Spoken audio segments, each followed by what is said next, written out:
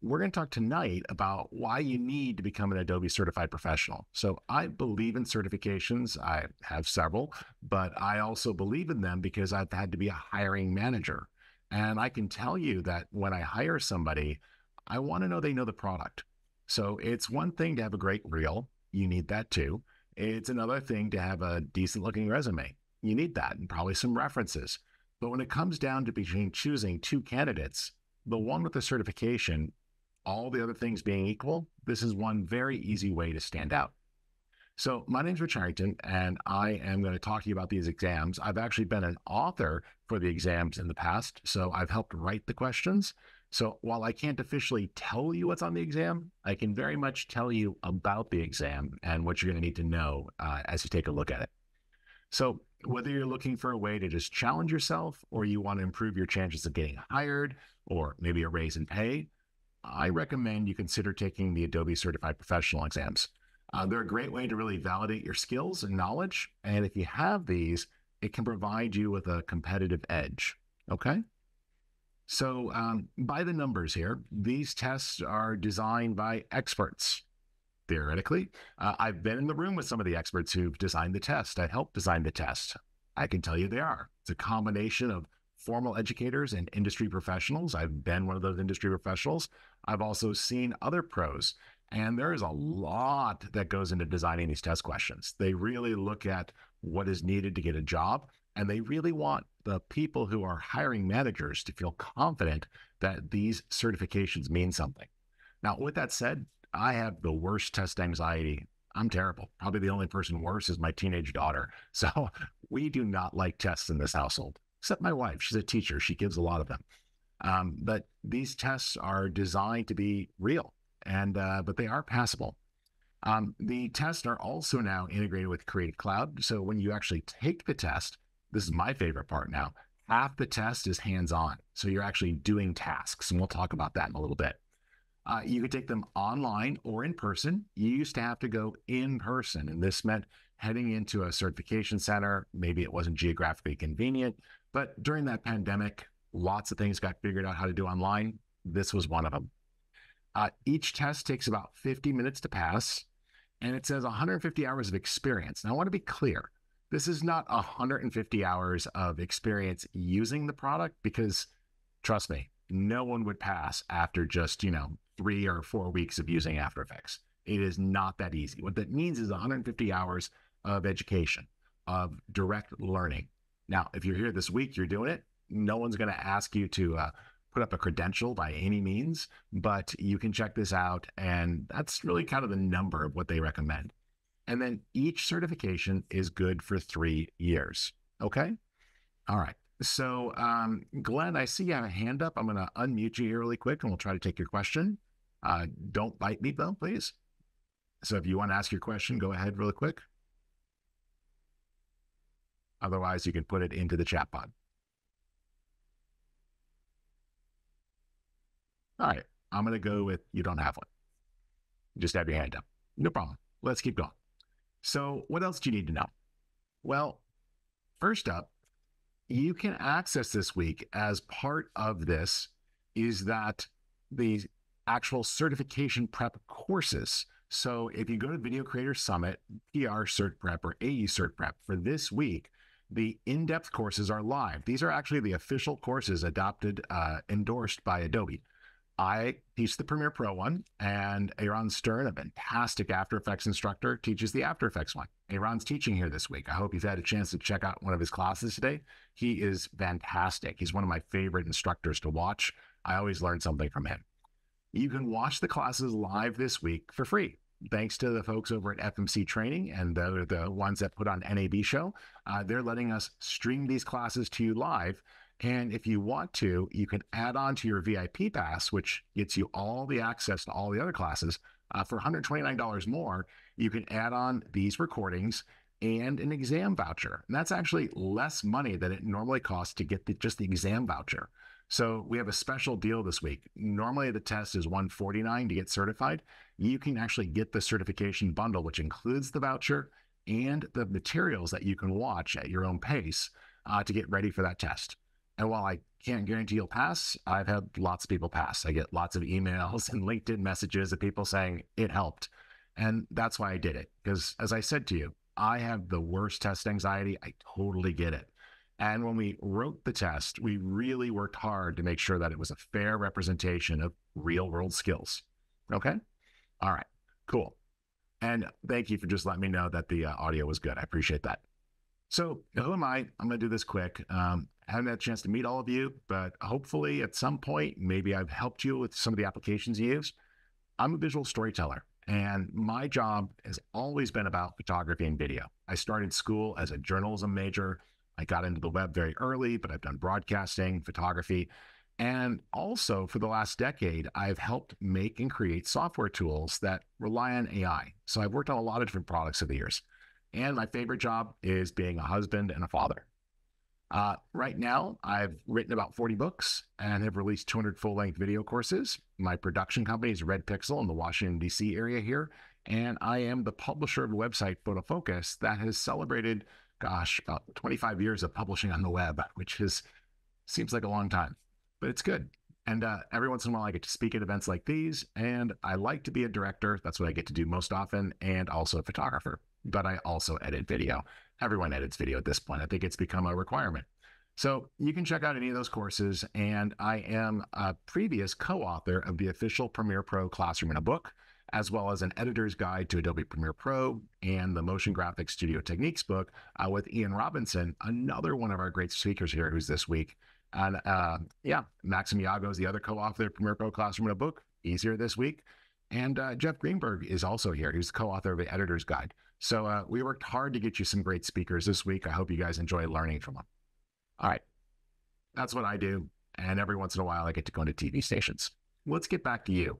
Now, what I want you to know is when you go to LinkedIn, like if you were to check out my page, when you pass these tests, you get badges. Now, that sounds silly, but this does actually stand out. And I want you to see why it's not just a, a silly JPEG or an NFT.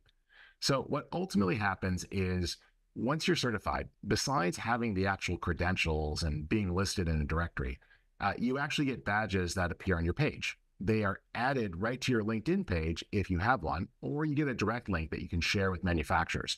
And you see an actual license certification with an Adobe logo right there on the page.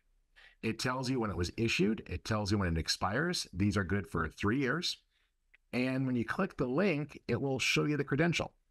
Now, you can edit these. So if you want to remove the expired ones, which I probably will, although I'm on the fence, part of me says maybe it's good to show that I've done this a few times. And the other part of me says, what happens if somebody just sees the expired one? I still haven't made up my mind. But nonetheless, it's been a great day. Uh, you guys, you see the credentials listed on the page. And this is listed right there along with my other professional certification of PMP. So these aren't real. These are actual real certifications made by the manufacturer with the manufacturer logo. When you click on one of them, it takes you right to the Credly website, which is a website run by Pearson, who is the uh, issuer of the platform and the test itself. And in this case, when you log in, what you'll see is you will see that you are actually certified. Okay. So this will allow you to show the certification off. And if somebody clicks the little verified button here, it actually like goes through these steps and loads them, you know, because it's really official. It loads one at a time, but it actually spins the wheel and it loads and it shows it's verified. It shows when the badge was issued. Uh, it shows when it was last updated, uh, and it adds it all in, which is really cool. And it shows the verified status. Okay. And you get a public page that's on this website that people can browse if they were searching for professional experience folks. You also can customize this page with your uh, social links and your LinkedIn link, as well as share it.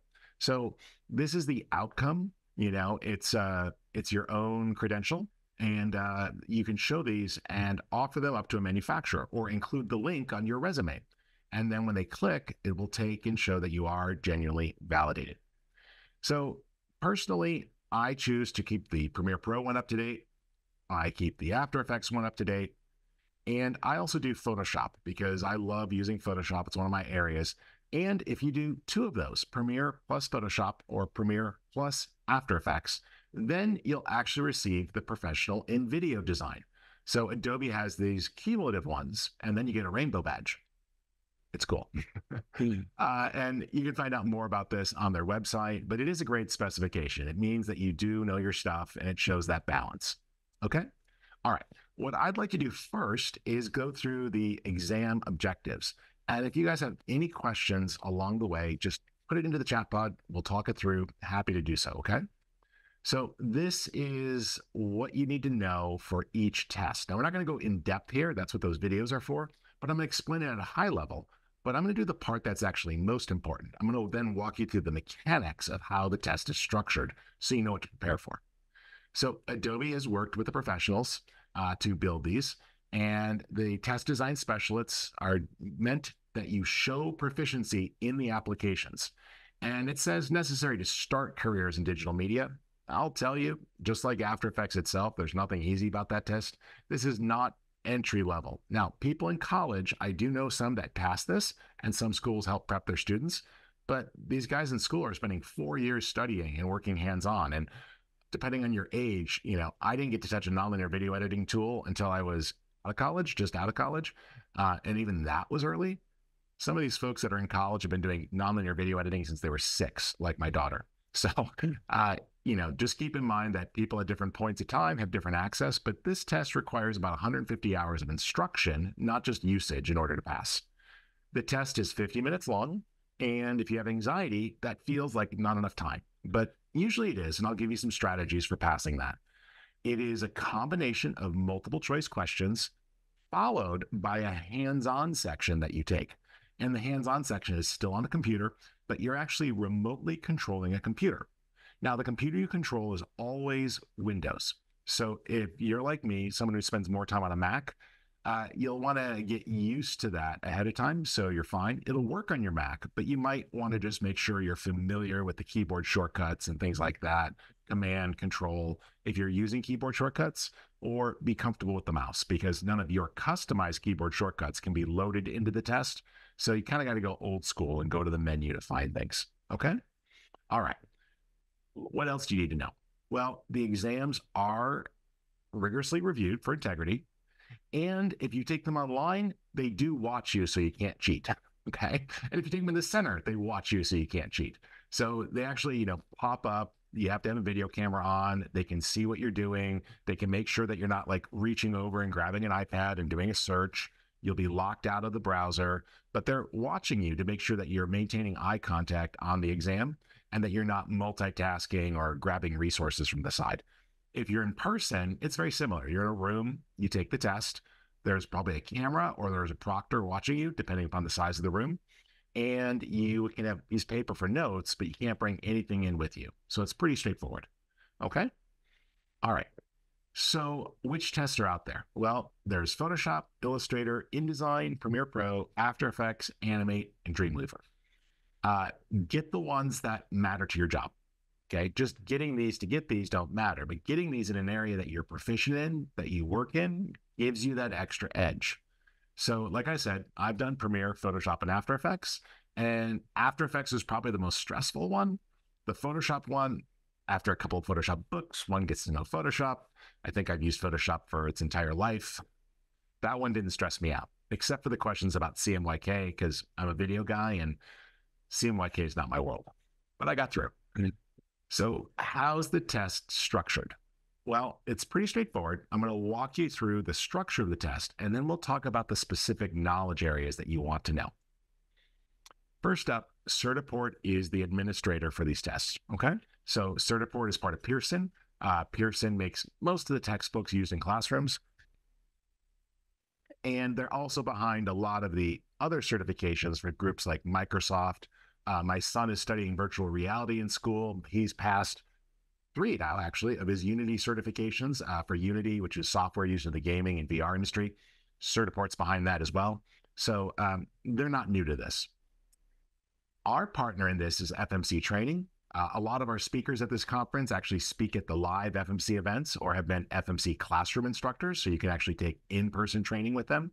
But FMC Training is a very experienced training center. They got physical centers and online groups. And so if you purchase the bundle, you will actually get access to that with a voucher and take the Certiport exam through that. So they're great folks and they're giving us a great special. It's actually less expensive than buying the test is normally. So you can get both the training and the exam voucher. Now, the test has two parts, like we said. One set of questions that you answer within a window, just multiple choices, like an online quiz, and another set that you're going to do inside the actual application. You have 50 minutes to take both tests. Here's the little secret, which is awesome. When you get to the midpoint of the test, there's a little pause. You're supposed to like review things and reread the instructions before you take the next test, and it just kind of gets you there. You can't hang out forever, but you can actually take a moment and just read those instructions super slow with a few deep breaths and meditation or whatever you do to relax. I find that like just being able to let that out and then jump into the next part of the test is kind of easy. And the timer stops at that midsection. So you can pause for a moment. You can't get up and go to the bathroom. You can't leave the room. They won't let you back. But, you know, it's pretty good. All right.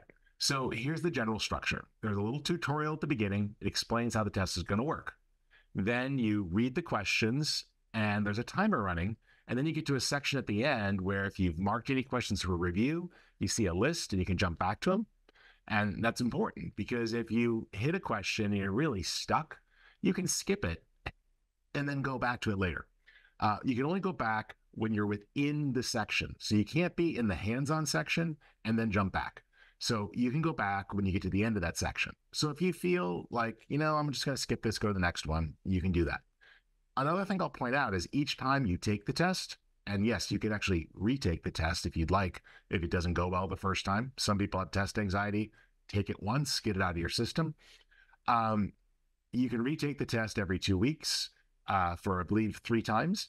Uh, you have to pay each time, but you can retake it. And if you do, the questions are different. So there's a large bank of questions. And so you just can't, it's kind of the look of the draw which questions come up, but they all come up based upon the same recipes we're going to talk up later. So they're evenly balanced across the knowledge areas. Once that first section is done, there's a little tutorial that explains how the hands-on tests work. And effectively, you're remotely controlling another computer running Premiere Pro or Photoshop or After Effects. And when you get to the end and you're all done, same thing. You can mark a question for review and go back to it. And then when it's all over, they ask for feedback. Were there any questions that you found problematic or seemed to have the wrong answers or none of the answers were valid? You can leave feedback about that to make the test better. All right. So when the first section's done, you hit that summary, you review it. Once you skip the section and go to the next section, you cannot go back. Don't spend too much time reviewing things. Don't overly do this, but if you want to read your answers one more time, you should have time for it. Then there's the tutorial. Again, the tutorials are not timed, so you can skip past that very quickly, or you can pause there if you want. The timer stops when you're in the tutorial sections. Now, the navigation is pretty straightforward. It is not anything other than a super clean, minimalist user interface. Okay. So it kind of looks like this. All right. This is not a fancy website. It is just a straightforward certification engine. So you'll see the question. This is question one of 10, 10 of 10. So you know how many questions you have in the section. You'll see your total time. That's for the whole exam. Remember, you have 50 minutes to complete both sections. That's not per section, that's both sections. If you really screw something up, like it was the live test and somehow you just move things around or you accidentally closed a window, you can reset it. One time when I was taking the test, the machine I was remotely controlling crashed. They paused the timer, basically gave me the time back a little bit. Uh, they got it up and running, and then the timer started again. So they have ways of dealing with things like that if it happens. Sometimes it's straight up multiple choice. Sometimes it's dragging things over to match. Sometimes it's click on different things to interact. It's like most standard computer based training. And then if you want, you can mark it for review or mark it that you want to leave feedback. Once you're all done, you'll go to the summary section. Generally speaking, don't go to the summary early, but you can go back if you need to. Okay. Anybody have any questions so far? If you do, feel free to put them in the Q&A pod or in the chat. I appreciate you guys coming out tonight and want to make this as useful as possible as I can for you. All right, summary page, you just add your own feedback, not a big deal. I can assure you, though, it does get read and that does help them make the test better. So, this is what it looks like when you get to that summary section. If you marked a question for review, there'll be a flag on it. It's like flagging an image in Lightroom. Uh, you marked it, and then you can jump back to it if you wanted to read it again. Maybe you were uncertain, or maybe you just wanted to skip that one and get through the others as quick as possible, and then go back and leave a little bit of time. I would suggest that you get through this stuff in 20 minutes. Try to finish the multiple choice section in 20 minutes or less so you have a little more time for the hands on section. The hands on section will take longer. Uh, I usually try to get through the test questions in about 10 to 15 minutes. So usually there's 10 to 15 of the multiple choice questions uh, that are in that first section. And so that's about a minute a question, which if you're spending more time thinking than that, you won't. And you're not allowed to look things up. So you would spend, you know, you don't have time to go looking for answers either. Okay. All right.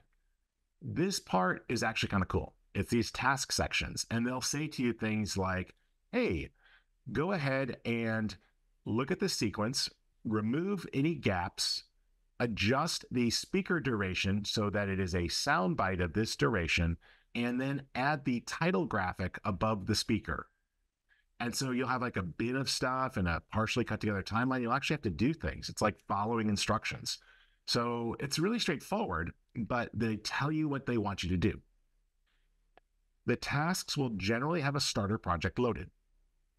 Uh, when you're done, you go to the next step. You don't have to worry about saving. It'll automatically register what you're doing. And you're like, well, what happens if I do like one of the things wrong? There is partial credit. So do everything that you can do.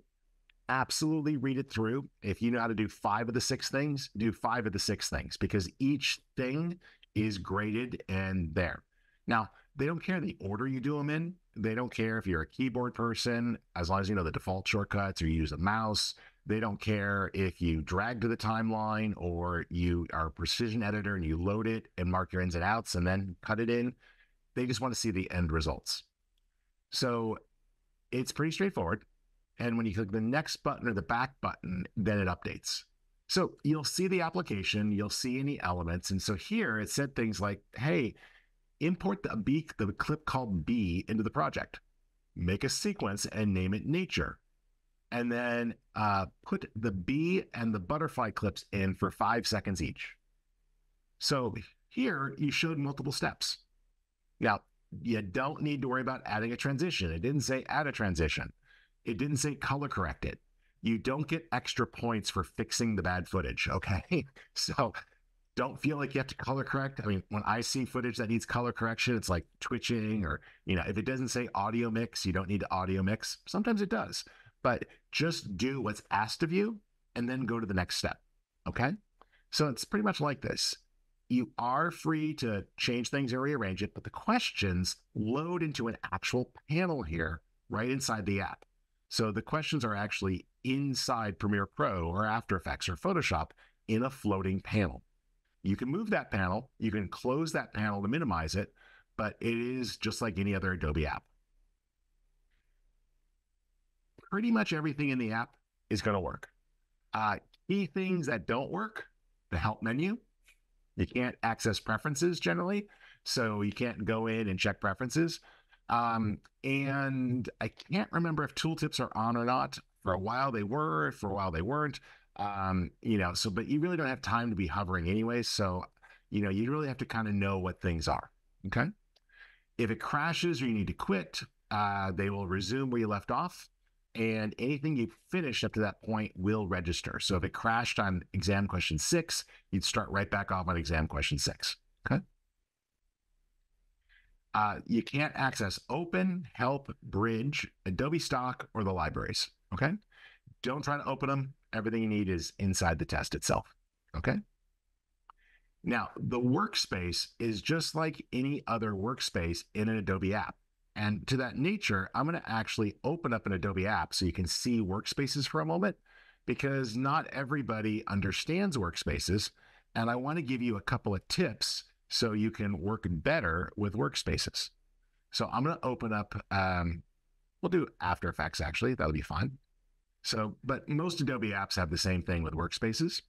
by the way, while I'm here getting that open, uh, if you haven't done so, please head on over to the Video Creator Summit. We've got four more days of training.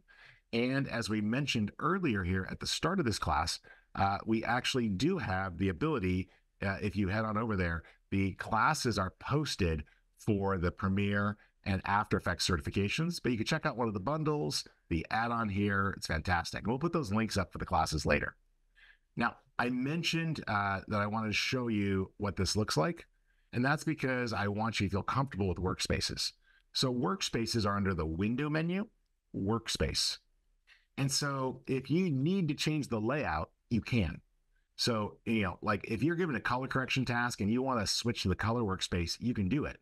When you do, the certification panel is supposed to stay in the workspace, but if for some reason it's hidden or you don't see it, you will find it under the window or under extensions, but it'll appear like a panel in here and you can just choose it and it will pop up and open, and that's fine. Remember, when you're working inside of these apps, if you press the tilde key, you can maximize any of these areas. That works when you're just editing or designing too. Uh, the tilde key on a US keyboard is next to the number one key. If you're in a different country that uses a different keyboard, it's just called maximize frame under cursor. And you'll find that inside the preferences of Premiere or After Effects or the keyboard shortcut list. But usually it's the tilde key or the key next to the number one on a keyboard. And it just makes it a little bit easier to navigate. Okay. All right. So it's like any other panel.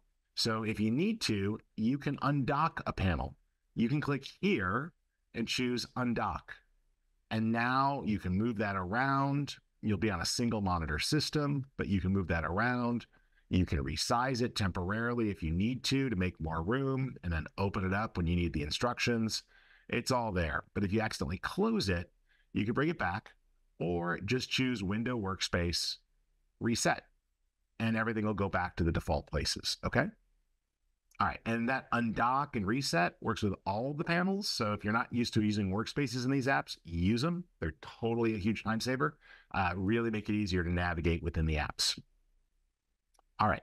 So if you close the panel by mistake, which will happen, trust me, window workspace certification test, boom, brings it back. If you need to, you can also choose window workspace reset to save layout. Now, for me, I tend to just bounce into the workspace that I need, and then I go back to the certification workspace. You really, really should switch back to the certification workspace before you go to the next test question. So that way, all the panels are loaded because when the software looks at what you did, it's going to want to look and check and see how things were built.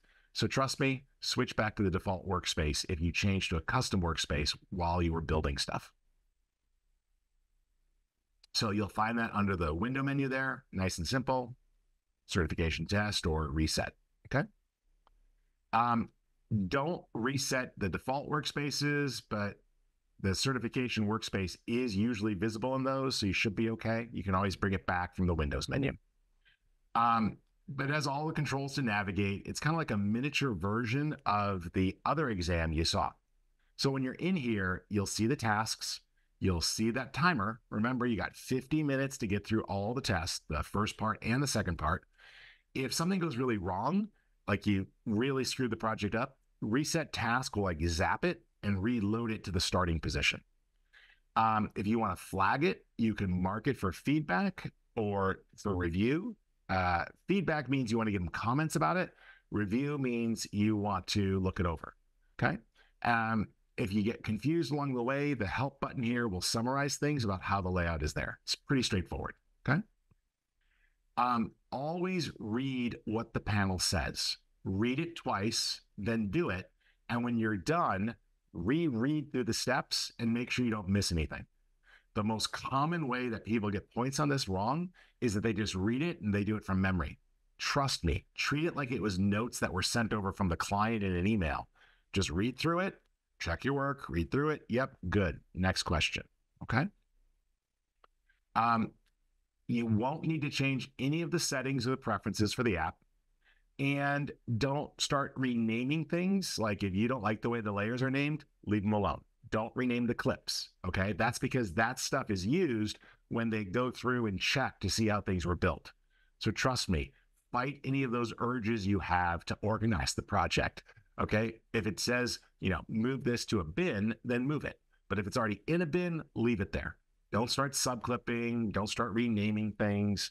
Trust me, just use what's there and, you know, follow the instructions. Do no more, do no less. Okay. All right. Um, it's pretty straightforward. The exhibit will also be a tab sometimes, and this will give you a visual representation. So sometimes they'll just say things somewhat vaguely, but on purpose, like it was the real world with a client. And then I'll say things like, make it look like this. And they'll show you a picture that you're supposed to accomplish. Or rearrange the tracks in the timeline so that it looks this way. And they'll show you what it looks like. So instead of telling you, like in After Effects, oh, use a track matte on this layer, they might show you something where it is a track matte and they want you to know what the feature is to go and find it. That's one way that they make the test more realistic. You know, the client would never say, I'd like you to use a track matte on layer two, but they'll you're looking at a timeline and you've got the different layers and they're in the wrong order and you look at the visual, you have to know how to look at that and then translate it to what's in your timeline to build it. At the end, there's the summary. You just look it over. Again, if there's anything you want to go back on, you can. If you got time left, you'll see it. If you're not in the summary, it's okay. It'll take you at the very end. They'll give you a warning as you get to the end. And when you're all set, you click the finish section button. Okay. Now, this is your time to give feedback. Timer's no longer running. Um, don't be snarky. It's hard for me to not be snarky. It's like built in after years of working in the video industry, but you leave feedback and it does a couple of things. One, if there was anything technically wrong with the exam, uh, you have a chance to leave feedback. Uh, additionally, for example, here's one piece of feedback I frequently, frequently give. One of the sections has a whole bunch of information in it about business practices. Well, in the past, they would have questions on copyright and such. And those questions were difficult because they didn't really translate internationally. Copyright law is not international. I'd once seen on an exam a question that was clearly written in Britain as well. Now they've switched to things like having questions about, say, Creative Commons, which is a universal licensing language, which I'd suggest you brush up on. But that came from people providing feedback about the exam. Okay. So that's an idea there where if you see and you feel something is not on target, or there was also a technical problem or something wrong with the structure, you can provide that feedback. Um, when you're all done, you click next. And you can also see if you marked specific questions for feedback. This lets you go back, reread the question, and you can see why you had feedback, and then you can leave the feedback. You can't change your answer. You don't get more time to go modify things, but you can see it so you can put it back into your brain. So if you see something that bothers you, just click the mark feedback button. You don't have to keep it in your brain the whole time. At the end of the test, you can go back and see it. Okay. And then you get your score report you will know immediately if you passed or failed. Like immediately, it's on the screen. Um, it will be then eventually uploaded, and you'll get a, a, link if you need to download it to show it to your employer or a boss or to put it with your resume. You don't actually have to show anybody this unless it's between you and the person. Passing is passing. Um, you know, I'll tell you my highest scoring exams are Photoshop. My lowest scoring exams are After Effects. I'd written the official one of the official After Effects books, and I still failed an After Effects test. Like I said, I had anxiety with tests, so it really gets in my way sometimes. But nobody needs to see your scores. But if your employer is paying for this or it's part of a raise, they might ask. But for the most part, passing is passing. And so what you'll see is it'll look a little bit like this. Uh, the candidate name will be filled in and it would say certified professional, certified. So there used to be a certified associate program and a certified professional program. Those were combined into the uh, the Adobe Certified Expert and the Adobe Certified Associate were merged into the Adobe Certified Professional program. You'll see an exam report, you'll see the test listed, and it will tell you the required score. Generally, you have to get uh, a minimum of 700 out of a thousand points. So that's a 70. So you need a 70% on the test. You can get bad scores in an individual section and still pass. So, you know, this is not a, a real test one here, but you can see that this person clearly did better in some sections and worse in others. And that's okay. As long as you have 70% of the correct answers, you will pass. Okay. All right. If there's any questions, put them in the Q&A. Uh, we will also open up the mics at the end. If anybody has questions, we can talk through things.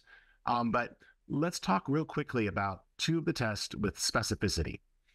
So if you want to know more of what's on the test, first up, as we mentioned, check out the bundles we have. It includes video training and it'll teach you how to know the core skills. It's a great refresher. The courses are multiple hours long and they're just good to help lift your skills, but they cover everything that's on there. Uh, additionally, if you go to the Adobe Certified Professional site, which is certifiedprofessional.adobe.com, they do list the requirements out and kind of show you what this looks like. Okay, so I'll take you there really quick to show this to you. Let me just bounce over. There we go. And on each of these pages, they do have a little bit of information. Now, what they've done is they have the requirement listed, and if you twirl it down, it'll show you this part here. So when you read, oh, I didn't know about projects and compositions, what you're paying attention to here is this part here that says key concepts, right? So if you're not familiar with rendering, you need to be familiar with it. If you don't know exactly about aspect ratio, well, then you need to brush up on that. So this will tell you things. So you literally need to make sure you understand each of these things. It doesn't mean that they're all going to come up on the test, but it does mean that they are all in the bank of test questions. I guarantee you everything on this list has a question or more about it. So you will see most of these things on the test. Now, they do put some links here to some extra tutorials and YouTube tutorials. They're by a bunch of different people. Some of them are great folks, most of them are. Uh, you can check that out. I do think that the uh, certified courses are a nicer way to go because it really keeps you focused and in depth, but you learn your way. Uh, if you want to check those out, remember when you head on over to the Video Creator Summit, I think most of you are there this week already watching classes uh, you can watch the classes live for free for 48 hours. We actually have these certification prep courses up uh, until the end of the week, and you can watch them there too. And we'll leave them up on Friday as well so that you can watch them. So that, you know, if you're watching all the regular classes, you can see that, but you can brush up uh, onto that. But if you want the whole bundle, then what you're going to need to do is, you know, pick up the bundle and then you'll give you the ability to watch the classes afterwards at your own pace. Uh, when you pick up one of the bundles, uh, 259 for both Premiere and After Effects, when you purchase the pass, you'll see that there is an extra add-on when you go to checkout.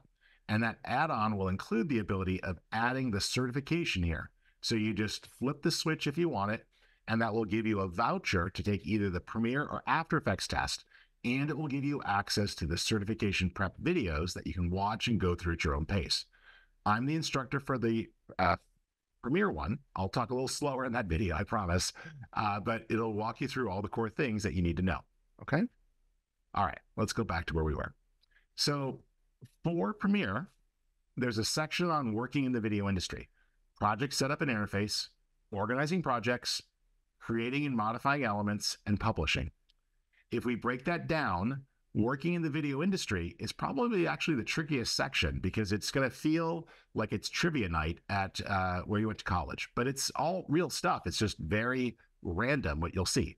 So there'll be key terms. They might be asking about like stages of production or different job roles or how to mitigate risk on a project or, you know, what this person's uh, job title would be with a description. So it really does make sure that you are an actual video industry person and not just a hobbyist or somebody who hasn't worked in an environment where professional terminology would be used.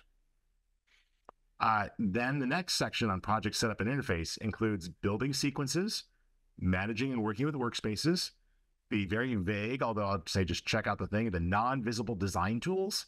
So this is covers a lot of different things. It's basically anything you can't see, but that affects things uh, and then how to import assets into the project.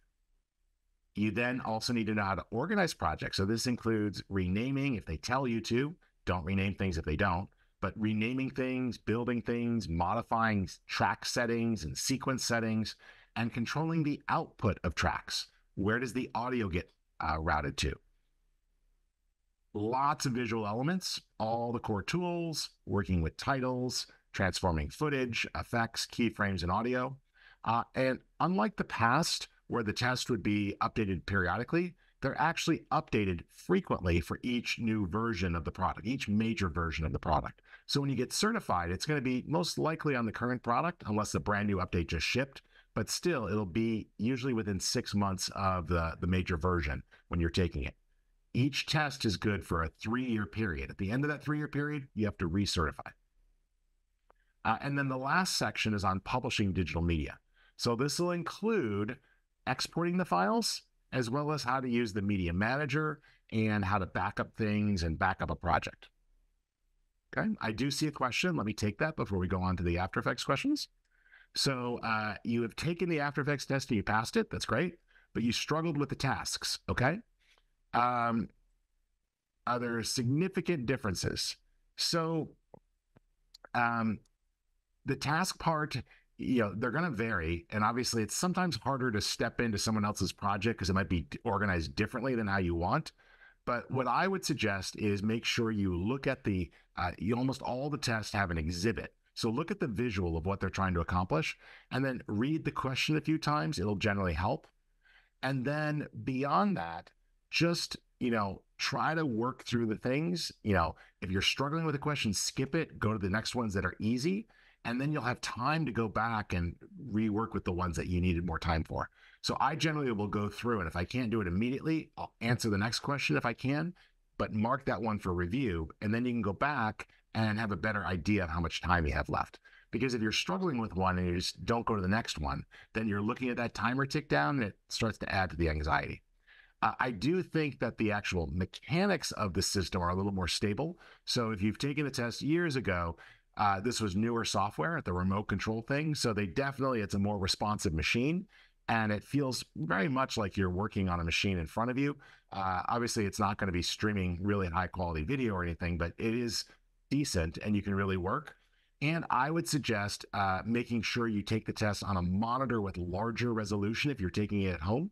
Uh, and that might actually make it more comfortable too for you, Marilyn, because if you're taking the test at home, you could actually, you know, put it on a screen you're used to looking at. I have a huge screen in front of me, makes it way easier to see things than on a little screen or somebody else's screen at a testing center. Okay. I hope that helps. All right. The other test on After Effects uh, is pretty straightforward. And this one is similarly structured to the one in Premiere and uh, you'll see a lot of repetition between the headings. Working in the visual effects and motion graphics industry, setting up projects, organizing projects, creating elements, and publishing. But the devil is, of course, in the details. So as you go into each of these sections, you'll see more about it. So this one will ask you to understand more about the audience and some basic project management. Again, stuff on copyright and permissions, Brush up on Creative Commons, trust me. Key terminology that you need to know, as well as some principles and best practices for work. If you've been working, you'll be fine. The only part that will be weird for most folks is this one. And so, again, brush up on Creative Commons. When you import, you'll have to do some basic organization. Make a project, adjust the settings, build a comp.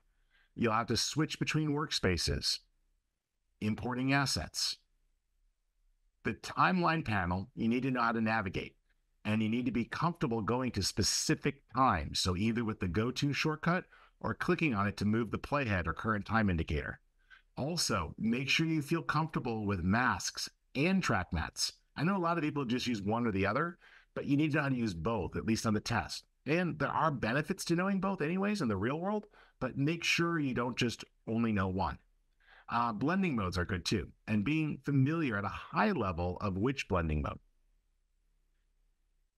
Uh, the other steps going to include working with the type tool, being able to make adjustments, make sure if you're in either product that you're familiar with Lumetri, that will come up for sure.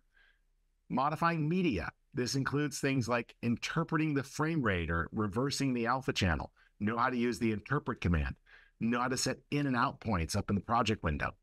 How to manipulate it certainly how to add keyframes and things like keyframe interpolation. So the different shapes of keyframes and the ease. There's a lot of different keyframe types in After Effects, and even I sometimes forget the difference between them. Although I love roving keyframes, that's my favorite. Make sure you brush up on those and you know open up the help menu and relook at that before you start the test, just to put it all in your brain. Okay. Uh, and then publishing will include the same thing getting the comp ready, adjusting settings like resolution, for example, or frame rate, and then rendering. All the rendering will be inside of After Effects. You don't need to know Adobe Media Encoder, it's just about After Effects.